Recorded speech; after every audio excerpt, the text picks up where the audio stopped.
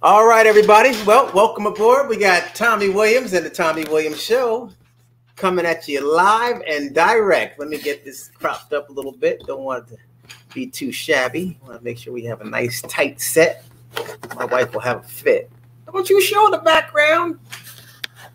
It's a green screen for a reason, fool. It's only supposed to be green. All right, so here we are. Okay. All right, my two guests have, have arrived, uh, and I see they're backstage with the name spelled correctly. Thank you so much. Um, I my my guests for the evening uh, are none other than Herman Blues Macklin. He's my cousin, and I also have a good friend of my wife's uh, from Hampton University, also also from uh, East Orange. She's an educator out in East Orange my home state. And her name is Mylene Brown. So without further ado, folks, I'm going to go ahead and bring them on. And welcome aboard there, Gina. Hope everybody had a great day. Well, all right. All right. Good evening. Good evening. How Let's are see you? What's going on? Let me get my volume up here. How's everybody doing? Doing good. I, I'm just, just testing this thing out. You told me you might want me to sing, so oh, I'm sorry. Ladies first, please go. No, no, no problem.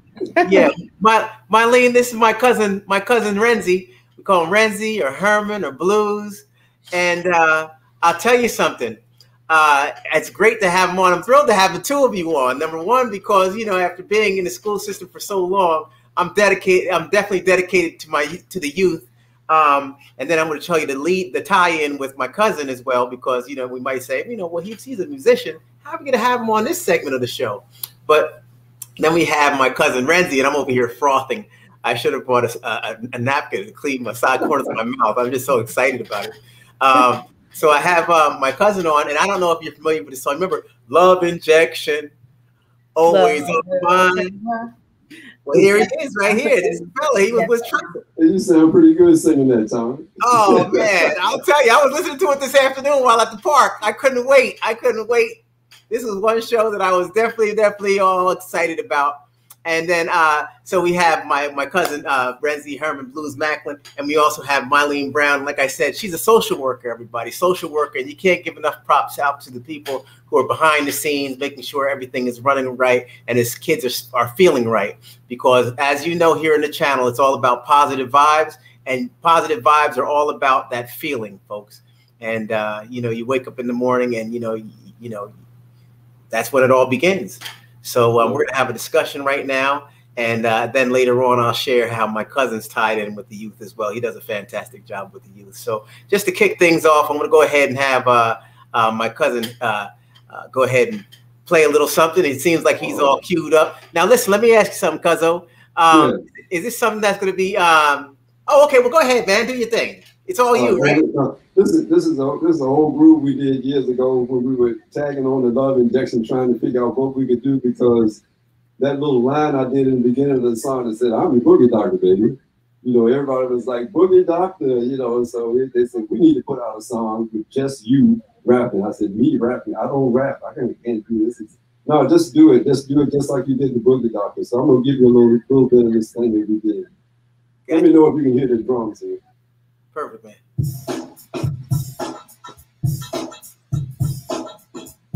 Am I coming through? You're coming through. All right.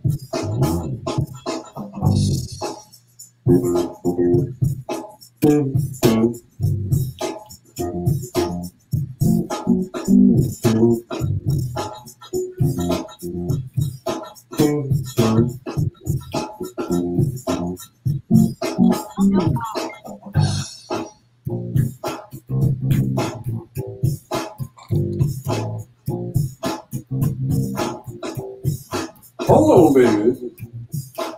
Cause the groove is here. We got it all locked in now, so don't you have no and the rest. We are gonna find out very soon if you like it fresh. Come on now, rock. It's in the pocket, in the pocket, in the pocket, in the pocket, say rock. It's in the love socket. Come on now, rock. It's in the pocket, in the pocket, in the pocket, in the pocket, say rock. It's in the love socket. Come on. Falling on you bad girls and you sexy Mary Jane. Such freaky hair and freaky clothes you drive me insane.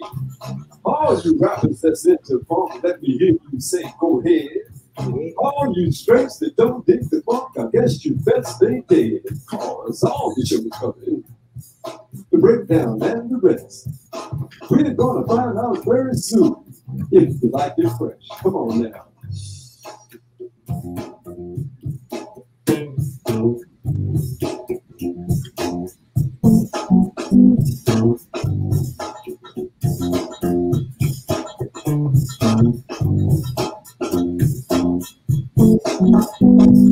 right. All right, all right, man. Fantastic, fantastic. I'll tell you. It's a little fun, little fun song. Yeah. yeah, that's right. We're on the rise right here. So, uh, all right, man. You want to go ahead and uh, relax, relax your uh, guitar right there, and let's go ahead and get right into it. Okay, yes, sir. All right. Let me um try to see if I can change this format just a little bit. Because we are going to listen to Mylene as she goes ahead and lets us know what time it is in the schools out there, folks, because there's a lot going on, as you all are aware, uh, with the country, the globe, uh, as we uh, try to navigate ourselves through a very uncertain and very severe times and uh, borderline catastrophic. But, you know, we have to remain in optimism. And so we can't lean on the negative because there's so many positive things going on on the planet as well. We can't uh, forego those things because this is our life and we will not get these days back. So um, I'm going to let you go ahead and please um, just introduce yourself and what you do. And um, I guess we could start off with the with the initial question of um, how are things in New Jersey with regard to the pandemic and the government open, close, and things of that nature. Well, good evening. My name is Mylene Brown, and I am a school social worker in the East Orange School District. I've been there for 25 years. It has been a wonderful experience working with children. I work with elementary and middle school children. Um, it's we have just we we went back to school. Our students came back on April 19th, and I must say that surprisingly, it's really gone very very well. I think at this point the students were used to wearing masks, used to social distancing, and they have really adjusted very well. Also, for the teachers, um, the president, Joe Biden, and our governor, uh, Phil Murphy, also prioritized teachers for the vaccine. So teachers are feeling uh, a lot more comfortable because of those two steps that were taken. Fantastic. That's super. Well, it sounds like things are letting up there. Um, I know that um, it's definitely it's a difficult decision, and it's a lot of pressures that the that the um, politicians are up against. I mean, you know, it's, you know, it's it's you know, we we look at things a lot of times through our lens because it's most comfortable, but um, there's a lot of pressures that are put on from everywhere from business owners to um, education. I mean, that's a huge huge portion of the the state's funding. Um, so there's a lot of things, a lot of a lot of decisions that have to be rendered um, based on data and um, we sometimes have to look beyond just our households and what what what we feel personally might be the right decision. Um, so sometimes we may not, and I, this is my first time actually thinking this through because you know, as you said, and you, you said it with a spoonful of optimism that things were letting up, and it sounds like good news. And then I think about my state down here. I'm in Florida, and our governor, um, Governor DeSantis, and his decision to um, have people go back into normalcy and you know lifting up the ordinance or the, the rules on on um, having to wear masks. I think some decisions are kind of reckless. Um, I think that you know I think that. Well, do you have to wear masks in, in Jersey? Let me ask you that because you might be synonymous with us. Do you have to wear masks? Um, just today, funny that you asked, because just today, uh, our governor lifted the outdoor mask mandate. However, he maintained the indoor mask, um, and also he maintained it for public, uh, public and government buildings and public schools. So okay. the answer is yes. Yeah, and that's the same here. That's the same here. So it does sound about the same. So, you know, with uh, well, that that kind of pivots right into um, you know, the the uh, the savior of this whole thing, you know, as per the um, the medical field, which is the vaccination. Um, and again, we have um, we're in a democratic situation, so we choose to get the vaccine or not get it. Um, so, have you been vaccinated, Eileen? I have been vaccinated, and absolutely. And but I understand that that's not for for everyone, and I, that's why I am in favor of continuing to wear the mask because mm-hmm. I do believe people have a choice. Absolutely, absolutely. Yeah, I got my shot. Fantastic, good man. Yeah, yeah. So, um, and now, uh, now in Virginia, this the schools are open as well, as well, uh, Reggie. Oh yeah, yeah. The schools have been open uh, for quite a while, and the parents had the option to either send your child to school or do at home, which gave double duty for the teachers because they had to, you know, teach in person and on Zoom at the same time, or just do two separate classes, or however yeah. they could make it happen. So that that made it pretty tough to, to, to get all that together, and um, it, it's really been a challenge. It really has. Certainly, yeah, yeah. So now you are, um, Mylene. You're right inside of the schools, and um, what's the uh, would you say that what's the population that's returned to school? Uh, they have a they have a model where it's uh, eh, still some kids are online at home, or everybody's brought back at this point. Uh, we have a hybrid situation where parents were able to choose whether they would like their child to remain virtual or participate in person. Mm-hmm. And I would say about at my particular location, about one third of the students um, came back in person. Wow. Um, and we are at um, 25% per day capacity. So, um, but since we um, we had such a low number, we only had one third that returned.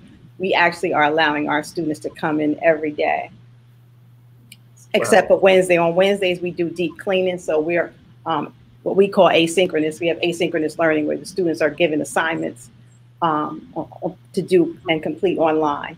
They do have yeah. access to the teachers, but um, we're not in live classes. Yeah, yeah. Now, did you all? I know we're coming to a close, the close of the school year. Did you all um, assess the students? Did your did your students have the assessments, the state assessments and things? Uh, for, um, fortunately, we did not have the state assessment. The governor was. We were able to apply for a waiver. Um. We will be have to give the state assessment, but not until the fall. Um, however, we were um, we did give district assessments and are continuing to give district assessments um, to assess um, where our students are. And we're also offering a summer program um, based on that data. Wow, that's fantastic. I was gonna, I was gonna say, you know, if they if they hit them over the head with in the fall with the test, you know, that's like after the summer. But they do have the option of of, of bridging the gap and staying nice and, and enriched with the uh, education and, and all that stuff that's going to be on the test. So that's super. I think that's I think that's a good model right there. I think that you know many other districts and across the the, the nation should have um, adhered to that because I know it gets difficult when the kids get uh, kids have um, the pressure of uh, being assessed on information that they don't really know.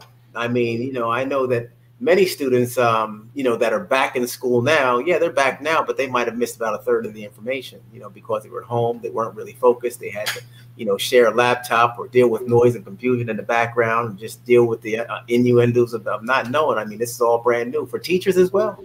Absolutely, so it, it is a, is a curve, yeah. and um, a curve that's not going to be met unless we deal with this even longer, and, and we don't want that. So, you know, hopefully we get back to the normal normal times. I think that um, you know, that hybrid model was something that was, um, you know, pretty much well thought out. I, you know, just based on numbers and like you said, that data is very important.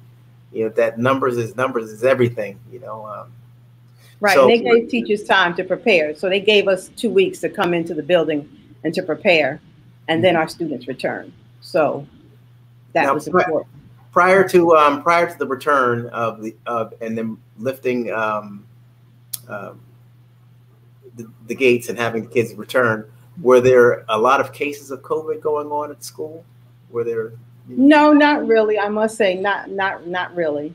Yeah. No, um, there were a few, but no. Um, I guess what they call outbreaks. Outbreaks, yeah. It would be. It came from outside, like someone would get it out from outside, but not bring it into the building. where Yeah. it's, where it's spread. No, not, not I at was, all. I was was I was was rough. We had we had three or four cases a week, and our um, teachers were going out left and right with COVID, and it, it was a scary time because a lot of the teachers are old like me, and it was just like Lord have mercy.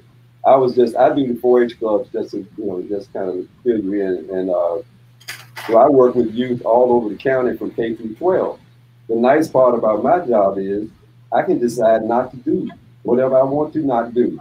So I had the option to just I just went total Zoom. And everything that we did was Zoom the whole year. But the teachers had to be in the schools. But because I worked directly with the students, I know exactly what they were going through. And they were calling me saying, look, Mr. And I'm so stressed out. I don't know what I'm going to do, you know, and, and no no uh, vaccine was around at that time. At the beginning of the school year, we were getting a call every week, uh, please quarantine, and they list 25 or 30 names of students that need to quarantine for two weeks because one person in the class tested positive. It was tough. It was a tough one. And now, now this summer we're going to face-to-face camp. So we're taking kids to a 4-H center where they'll be sleeping in bunk beds together, not side by side, but you know, in the bunk beds in the lodges with about, you know, they're saying keep it at four, and um, it used to be eight kids per room. Now it's four, so they're thinking maybe we cut back to four. That'll keep it down. The kids have to get tested before they come in. Um, if they don't get tested, they have to have parents sign that they quarantine for two weeks. So we, we've got a lot of guidelines in place, and we just hope we make it through the summer without any, any anything happening. Absolutely. It's a rough time. It's a rough time. But we're Yeah, same here. We're having in-person uh, summer school, so oh, you are having okay, good, good. Yes. Well, I mean that's uh ooh in-person summer school. Well, things you know things are clearing up. So I so it, it, it's all um, based on numbers. I'm sure they still have the and you know in person isn't going to be the same in person. I would imagine. absolutely no, you not know, at all. Population, you know, the social distance. You'll still practice some of those things. So Absolutely, Oh, no question. That's good. mask, Mandate, yeah. everything will still be in place. We have um, dividers and everything. Um, Oh wow. Mhm. So Yeah, we we did the same thing. We're going to try to do as much stuff outside as we can, you know, and then that way the kids, if as long as you stay six feet apart, you can take your mask off and get a breather because you know it's going to be hot this summer. So that's that's going to be a bit of a challenge too. But uh, we're even going to serve meals at the picnic tables instead of in the cafeteria, so they don't have to be all bunched up in there together. That's a good idea. That's a good idea. So tell me, um, how about the um, with regard to um, the students and um, the emotional piece? Is there is there? Do you find that there's a lot- of? Um, uh, I know the students have. Um, there's a different, definitely a difference in students being able to communicate and socialize and things like that that they're normally accustomed to uh, during the course of course of a school year. So, do you find that kids have some some more emotional um, um, issues or, or things like that that they might have to address and they, they, they want to talk? Do you find that more students want to talk about um, what's going on through the pandemic? Um, to be honest, I, I didn't find that. It was surprising. They were very resilient. They were, it really didn't affect them as much as I thought it would. Um, they came back to school. Um, my younger students, the elementary students, they wear their masks. They understand. They they have you know we have arrows in the hallway, and I, I mean I'm very pleasantly surprised that Mhm. my students um, adjusted so well.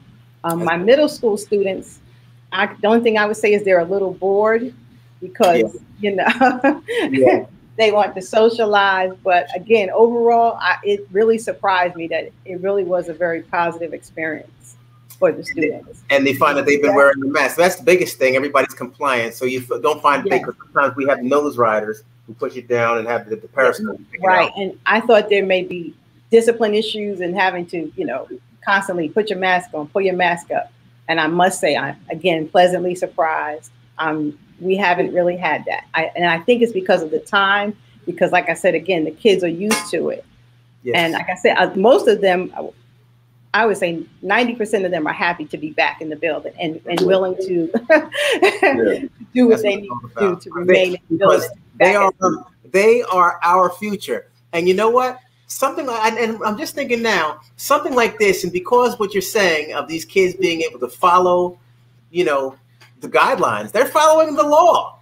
They're, you know, they're, it's crazy because they're doing something that we all have to do. And we talk about and preach about, you know, following rules and talking about when you get older, you're going to have to follow rules. But you know what? We're all following the same rule. This is crazy how, you know, we're, you know, old, young, seniors, you know, babies, everybody's got to be in compliance and compliance. And you know what? Um, when they get older, you know, these will probably be make some great politicians and some great great advocates for you know social reform and, and different things like that because these kids are really learning at an early early age the most important thing and the most and the most uh, the ser- most serious uh, thing of all because this could be the difference between life and death. Right and we you know. it's such it's such a it's such a strong strong topic right now. And um, and it's nice to know that you have you're in a district that's getting it in a school system that's understanding the, the severity of it all because I'll tell you there's some there's there's schools out you know down here even that that you know you, you get nervous you know because you know those students that that that want to kind of treat it like ah it's nothing you know you know if you're not serious now when it, what what's going to be you know what does it take you know you have uncles aunts cousins neighbors passing away. You know, you have your whole carrier route. You know, I was going to have a, I had a, um, I had a letter carrier, uh, um, uh, mail person uh, on my uh, podcast early on in the year, and um, he shared um, the fact that his route was totally different. You know, they had signs on the door. The people, you know, people were no longer there. They're no longer, you know, and it's just bananas. But um, yeah, so so that's that's good. So now, how about like um, child study um, and, and, and doing um, IEPs and things of that nature? Is that is that changed? IEPs, um, individual. Um, we're, we're, still doing our IEPs. We're, we're still doing everything. I mean, it's really amazing. I mean, it was. I won't say it was a, a difficult adjustment, yes. but I must say we do everything virtually. We have our IEP meetings uh, virtually. Um, I have had a few. We have some in person now um, a few with the social distancing. Again, we go into a big room and spread out. I do our six feet apart. We have our mask on, um, and we're not doing a lot of, um, you know, paperwork. So everything is like email. We email IEP. We email report everything to parents, and you know they go over it. And then, um, like I said, we meet um, virtually, and I've had success. I've had most of my. Matter of fact, I actually think I've had I would say close to 90% of my parents come to my uh, the, the new thing is our uh, Google Meet. Yeah, yeah, and they like it. They like and it. All the teachers come. It's just like a yeah, right. Yeah, they don't have to drive anywhere. It's perfect. You know, they, sure. meet more often. And, and you know, you were talking about kids opening up and, and wanting to talk. When we had these Zoom meetings, sometimes was, we were supposed to end at 7:30, and here it is 10 minutes to nine, and I'm like, hey, look, we got to go. But they just want to keep on talking and they're talking with each other. They're asking me questions. And I mean, it was just like a super mentoring thing that you couldn't imagine. You know, it just, they was just so happy to be with people. Like you said, when they finally came back to school, hey, I'll wear the mask. I'll do anything you ask me. Just let me come back to school. You know? Right. Yes. And, and, my district is in terms of counseling and uh, social work. Um, you know, my district had a block of time you know, from 1.30 to uh, 3 o'clock, where the counselor, school counselors and school social workers and all support staff were available. And so the kids could come to us and talk to us during that time. And I had my own, like my own classroom, my own uh, meet where students could come and talk to me. And they did a lot of times. I mean, sometimes just this, we would, I met students' pets. I, met, I found um, um, what their favorite uh, video game was. It, I mean, it, it, I, it really worked. It really did. That's fantastic. That's fantastic. Yeah, that, that was one of the things we were kind of concerned about, uh, y'all. And I don't know if, that, if this was in New Jersey too, but 4-H is like a safe haven for kids. You know, they, they come to us, and sometimes we find out they're being abused at home. Sometimes that's the only place they get three meals a day is at 4-H. And so we were really concerned that, you know, not having camp last summer, the in-person camp, that you know, some of these kids were really going to be in trouble. And and that's when you know you got a lot on the Zoom that you know they would they would hang around. You know, you know you see them, you know, like okay, it's only two people left. This this this kid must have something he wants to ask me. So I would wait until later, and then I'd shoot him a text and say, hey man, give me a call. Mm-hmm. And we talk about what's going on at home and in his life and everything. You know, we found out that some kids were having it pretty rough. Yeah. Yes, I'm glad you brought that up because the students were able to email us and we could email them. So they were in constant contact with us anytime they if they needed help. I would they could just say, Miss Brown, I need to see you. And I would email them back and say, okay, come to my Google Meet and I would be there and we would chat. Yeah. It means so much. It means so much to them. Absolutely. Absolutely. So um, how about um, with regard to um, the nutrition program? Do they, they have the cafeterias open, fully staffed, and and and or how do they delve out the food in the cafeteria setting or to the homerooms? Well, for the virtual, while we were virtual, we have what we call grab and go. So we were feeding our students every day um, breakfast and lunch. Um, if it was a day off, we would give them two or three bags. Um, the day before, you know, like if we were off on a Thursday, so Wednesday we would give bags for Wednesday and Thursday. So our students never went hungry. Um, and now, yes, um, my school is fortunate because we have two cafeterias. So what we we do feed them in the cafeteria. We do have enough room, and what we do is we alternate um, our students going outside. So half the population goes outside while half the population eats, and then they switch off. Okay. Yeah, we uh when school was totally closed, the uh, cafeteria workers teamed up with the school bus drivers because Prince George is so spread out. I mean, some kids take them 45 minutes just to get from home to school on the bus. So they would load the buses up with bag lunches and drive out to a central location so that the parents could come, you know, and wouldn't they wouldn't have to go so far. And some kids could actually walk to the bus and pick up the food, you know. Mm-hmm. Well, that's good. That's good that everybody's furnished with things. And for those people, um, we were talking some acronyms earlier. We said IEPs. That's the individualized educational plan for the students. That's very important.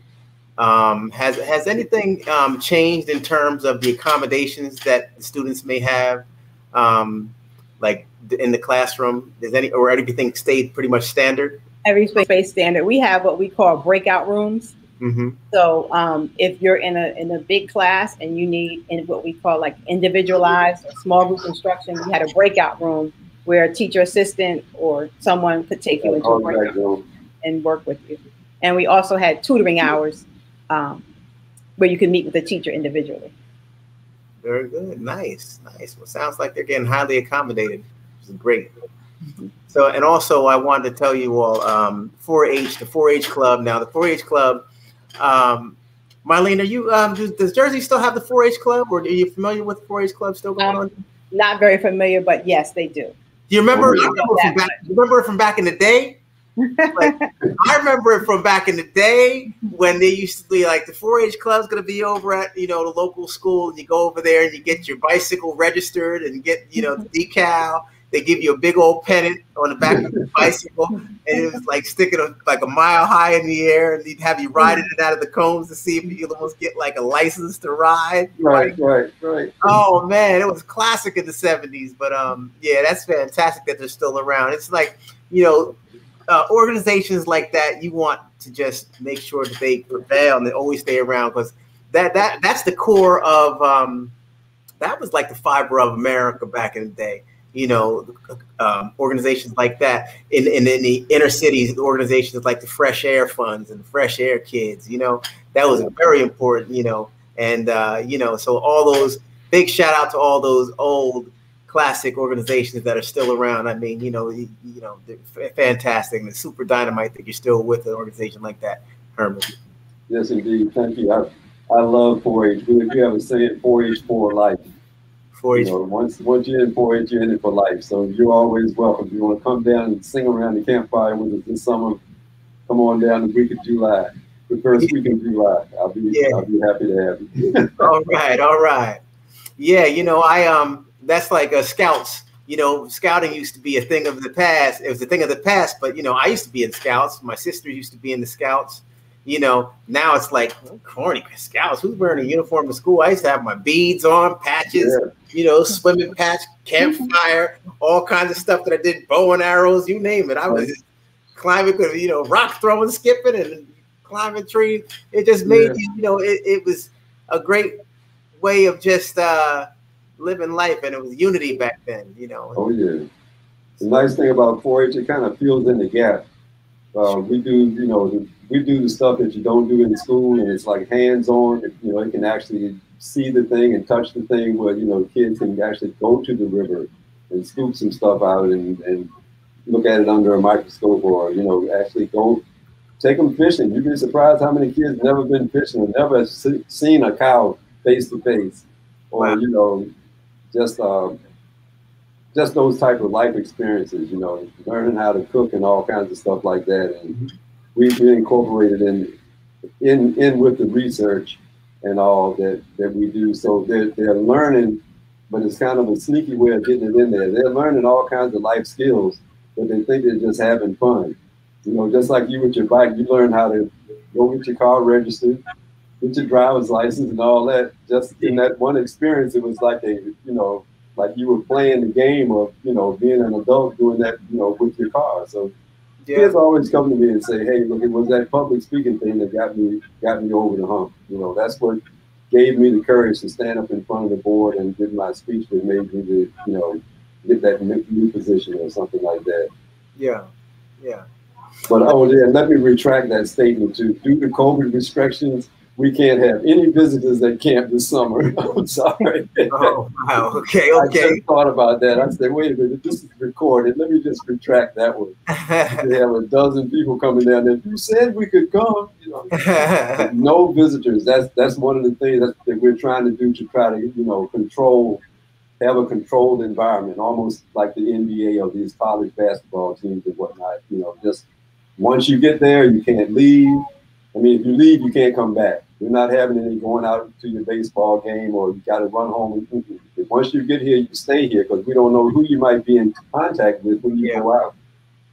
That's fantastic. Yeah, those. that would have been. We might have might have had better luck if we had turned all the schools into boarding schools. Yeah. And just made everybody stay right there. But Virginia State has had a time too. I'm right here by the university, and my wife is the main red coach. So she has seen some, she has seen an interesting year too. And those, you know, kids coming back on campus and just trying to keep control of this thing. It's been a real challenge. Yeah. You have to have her on for a conversation, man. I'll be talking to you. Okay, yeah, sure. Super, yeah. So um, now, Mylene, you were uh, going to, to Hampton, right? You had attended Hampton?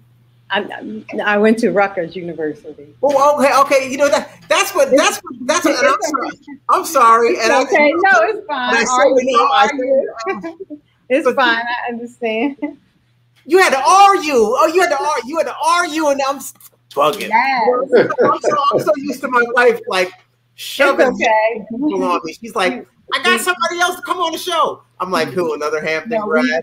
And so we share. We are we are sisters. Yes, you are. I know. We are sisters. But yeah. I went to Rutgers University for my undergraduate degree, Douglass College, and I went to uh, Fordham University for my master's of social work.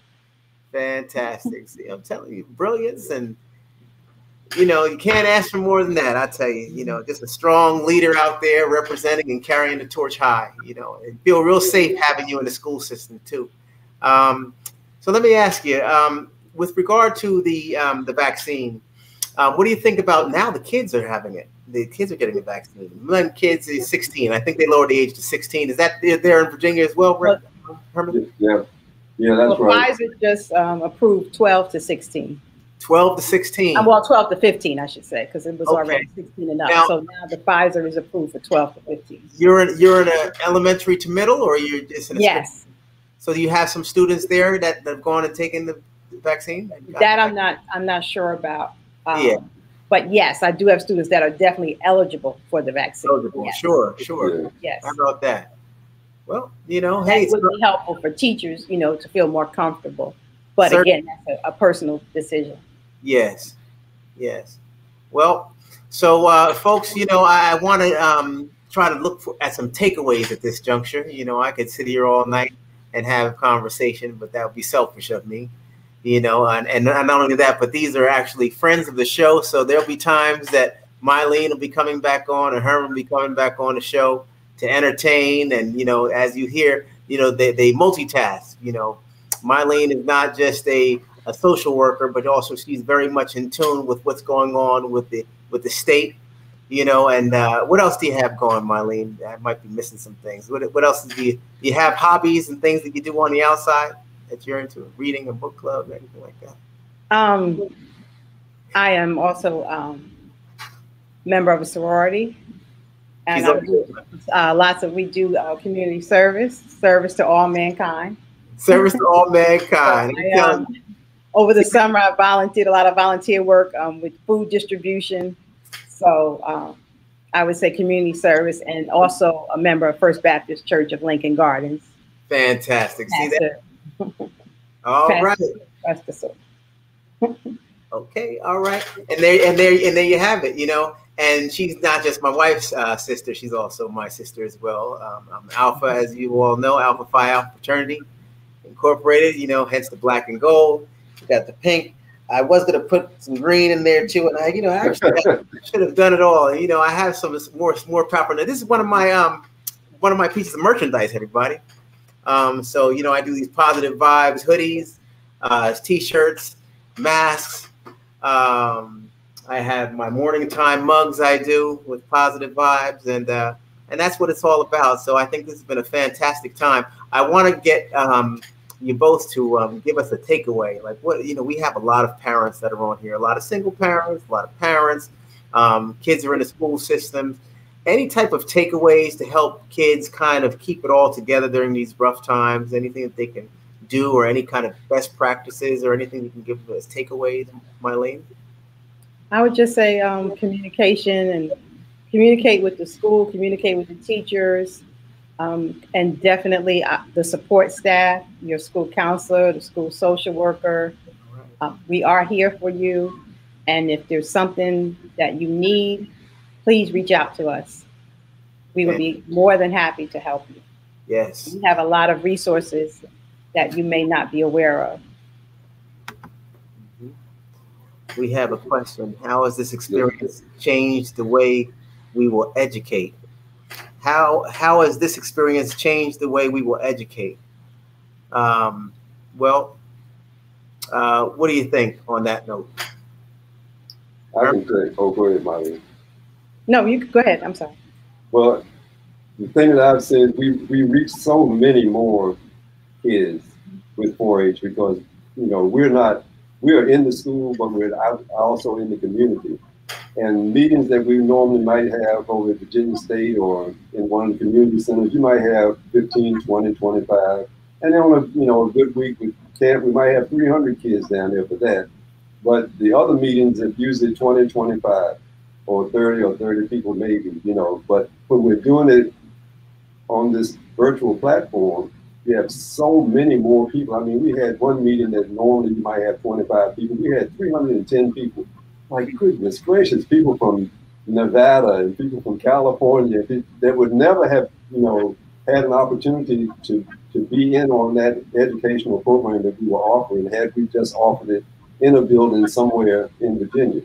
So it, it has opened the door for us to, to reach so many more people. So I see it changing to the point that every time we do a program now, it's going to have to be hybrid meaning we're going to have to do it in person, but have a person there with the camera streaming Facebook Live or YouTube or something the whole time yes. so that it's accessible to all this big audience that we've just acquired during um, the pandemic. Yes, and on that note, I just think that um, technology, technology, technology, technology, computers. I mean, how important is how important are computers and access to the internet so I definitely think um, uh, what we call future ready. We definitely need future ready schools, and we definitely need a one to one ratio with uh, computers and the internet. That was our biggest struggle in the beginning of the pandemic, getting our students connected. And definitely, I agree. Also, the parent participation. I definitely agree. Our board meetings, our PTO meetings, the attendance went way up because the parents were able to um, view it from their home. So I think that, as you said, they should continue that as an option for all parent meetings. Continue that virtual option. Absolutely, absolutely. I think that um, this session was fantastic. We definitely opened some eyes, and um, I think that parents' involvement. I think that the students being able to feel comfortable, you know, and I and I think that the state's been doing their job. And I, I've, you know, actually, I still have Pandora um, from New Jersey tapped into my phone, so it gives me a little taste of home when I'm doing my running things. And there's, I know that there's a some sort of line, the VAX. They do VAX something 800 facts, and I, I thought it was something different, but it's VAX for vaccine. And and I was um going to call that number and see if I can get a representative to come on, but I said I don't know. I mean, it's kind of chill. Um, but but you know um, but I think that it's great that people remain educated. We're all students. Everybody just took, all of a sudden pulled up. They, they were. Hey, by the way, I heard that they're um, thinking about changing the um, freshman and sophomore to first and second year students. Have you heard about that? So, um, and, and I don't know if that's going to be something nationwide or whether it's going to be something. I think it is nationwide. That they're instead of having freshman and sophomore, and you know then junior and senior, they're going to talk about no, they're going to go to first year, first year college student, second year, third year, and fourth year college student, huh. which is a whole other thing um, to discuss. But at any rate, I think that you know students. Um, students definitely need to be comfortable to speak to those qualified people and everybody's not qualified so i think a lot of times that you know if you don't feel comfortable you know speaking to your child about you know certain issues send them to the specialists they go to school and they work hard at attaining that paper to make to have them certified and qualified to take care of those fires to put out those fires and assist your child. So lean on the proper people folks. Um, and thank you so much uh, Mylene Brown for coming on. Um, if you want to share some any any type of um, media or anything that you want to share, you know, you can you can let me know. You can text me or email me, and I'll make sure I get it in the link in uh, in our in our uh, channel. Okay. Okay. Thank you. It was fantastic having you on. Thank you so much. and pleasure. Absolutely. Yes, very, nice, very nice meeting you too, Mylene. Yes, you too, and thank you. And I really enjoyed the music at the beginning. Thank you. I enjoyed chatting with you too, Tommy. Thank you for bringing me on here. This has been great. You're welcome, man. And, and let me ask you: Did you have any other um, numbers that you had in mind, or? You, you well, had... no, that was basically the, the, the coup de grace right there. Okay. you know, I'm gonna squeeze on you, man. I'm gonna squeeze on you because you're good, man. I'd be glad to do another one, though, if you really want me to. I certainly do, man. See if I can grab Take us out yeah, take us out. Go on. Take us out. That's my cousin right there. I'll tell you, when I was at Virginia State, oh man, I met I, I, I got up with this guy here, and he just was he was fantastic. I was on his front doorstep so many times. Hey man, uh, you know, I, I, need you. I need you, man. you know, he's right there like big. Hey, it made, it made me feel good. You know, I was glad to have you. Yeah, man. It's good to feel needed. You know when you can yeah. help somebody out. Sure. You were like my little brother. Yeah. Thank you, man. All right, let's see here. Let me find the find the track. Bear with me just a second. Sure, man. Mm-hmm.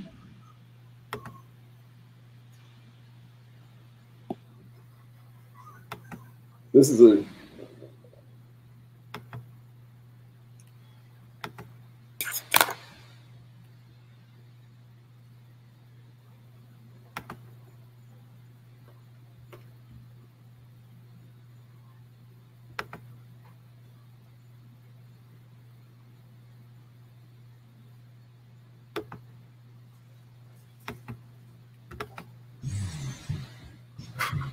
You got anything?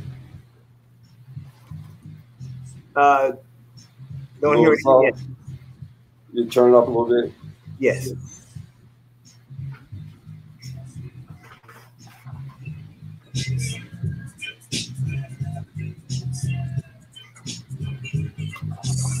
No. Not getting it. Any any way to get the speaker down by that? Huh? Any way to get the microphone down by uh, the device? Well, it's actually supposed to be going right in the uh, right in the USB port. Huh. Let's see. Well, I'll just do it. Can you hear the guitar at all? Yes. All right. We're just going to get me and the guitar in. This is a little song I wrote. It's talking about uh, Peel and And uh, I've got a reggae band called the Tunji Reggae Band. And uh, this song is all about feeling good because you're doing good, living right, and doing right, and treating each other right. And it's called Keep the Feeling Irie. And